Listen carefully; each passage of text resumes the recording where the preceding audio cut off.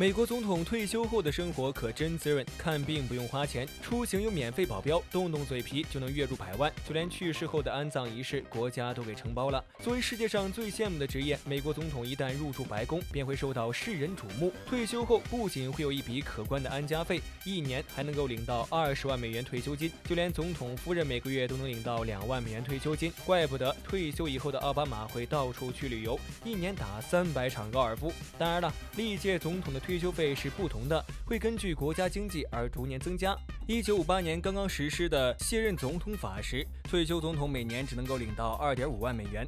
到小布什的时候，涨到了二十二点五万美元；克林顿二十三点一万美元；奥巴马二十三点六万美元。要知道，一个公司高管的年薪都不会有这么多。但以财富大亨特朗普的家底来说呀，每年并不缺这二十万。更重要的是，在总统退休后，为了防止有人秋后算账，美国的特勤局还会为他们提供终身保护，甚至还可以在军队医院终身免费看病。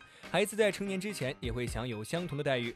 要知道，美国的医疗那可是相当昂贵呀。这退休售后服务做的真的是无可挑剔。这也难怪许多人就算挤破头也都想竞选总统。但这总统可不是一般人就能当的呀。首先必须生在美国，年满三十五岁，在美居住十四年以上，不仅要有充足的资金保证，还要具备很强的社会影响力，身后有一大堆愿意追随你的民众。然而这也只能够获得一个竞选资格而已。可见，想要当上一个领导有多难。你知道美国总统退休后靠什么赚钱吗？方法简单到难以置信，动动嘴皮就能月入百万。奥巴马满世界的打高尔夫，一年打了三百多场都花不完。更绝的是，他还一边演讲一边旅游，一场演讲就赚了四十万美元，又将回忆录版权卖了六千万，带着家人去全国各地旅游，生活呀那叫一个滋润呐。七十五岁特朗普人老心不老，江湖至今还有他的传说。他退休以后就搬进了海湖庄园，继续经营着自己的商业帝国。甚至还赚起了政府的钱。原来特勤局的特工们为了保护特朗普，衣食住行都在特朗普的俱乐部。特朗普竟还向他们征收了每晚五百六十六美元的房费。哎呦，怪不得特朗普做生意这么成功，这脑袋呀可真够精明的。而且美国总统退休后，美国政府仍会为他们提供一个办公室，让他们用来写回忆录。你可不要小看了这回忆录呀，那可是一笔不小的收入。奥巴马的回忆录光是版权就卖六千万美元。如果特朗普能出本回忆录的话，以他本身自带的话题啊，那可能会卖得更更多。不仅如此，政府还会为每位卸任总统修建一个以他们名字命名的图书馆，用来记录他们的生活事迹。从选址到装修，全由总统自己决定，这相当于是一个纪念馆一样。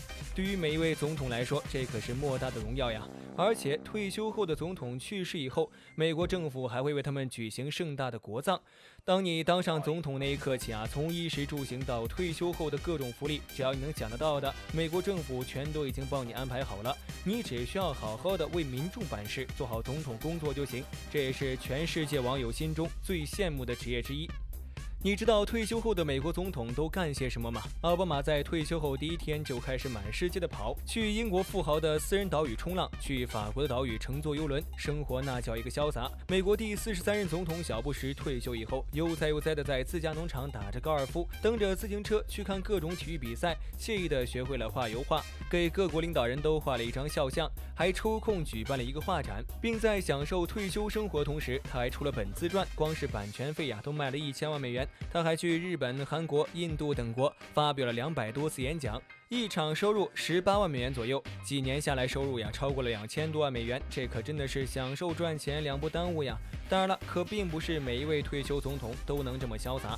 据说呀，连任两届的克林顿总统退休时还身负巨额欠款，因为他在职时的负面新闻和参与竞选花掉的钱，让他欠下了一千六百万美元。可想而知，竞选有多烧钱。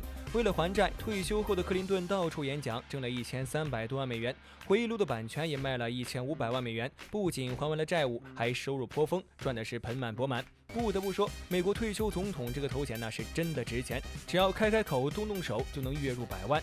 当然了，这也和各国的经济实力挂钩，毕竟曾经国家最高领导实力、能力、才华那都是不可小觑的。能享受这样的生活呀，这也是他们的努力换来的。这也告诉了我们一个道理：想要生活处处如意，还需不断努力呀。愿我们以后的退休生活也能够这般潇洒自在。好了，今天的视频就到这里了，欢迎留言讨论，点关注不迷路，我们下期再见。